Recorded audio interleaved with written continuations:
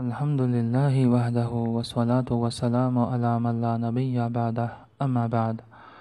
شراب اور دیگر مشروبات سے متعلقہ مسائل، ہر نشہ آور چیز خمر اور حرام ہے۔ ابن عمر رضی اللہ عنہما سے روایت ہے کہ رسول اللہ صلی اللہ علیہ وسلم نے فرمایا، کل مسکرن خمر و کل مسکرن حرام۔ ہر نشہ آور چیز خمر ہے، شراب کے حکم میں داخل ہے۔ اور ہر نشہ آور چیز حرام ہے۔ اقول حاضہ و استغفر اللہ لی ولکم